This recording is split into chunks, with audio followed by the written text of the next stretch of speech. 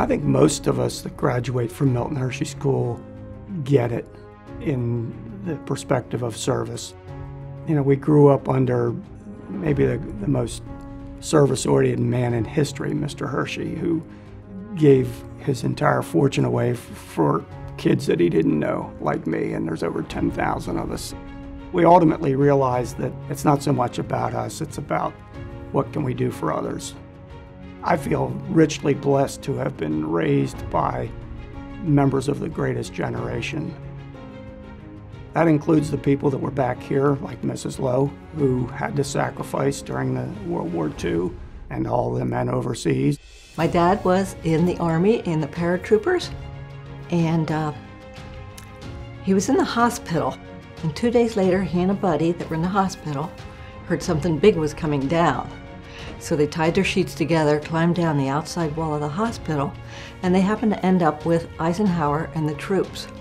And he is forever iconic in that picture of Eisenhower and the troops on D-Day.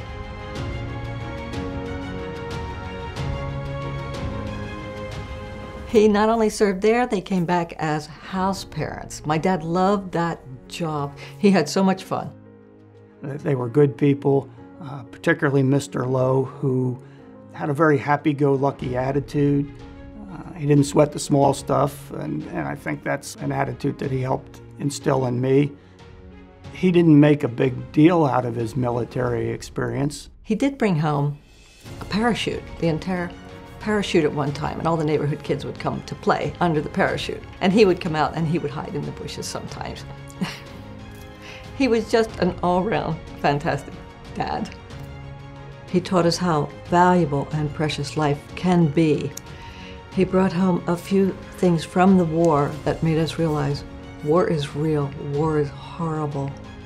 Those guys in World War II, they saw the worst of humanity, but those from Milton Hershey School, they already knew about the best in humanity and the service commitment that the Milton Hershey School instills in, in most of us.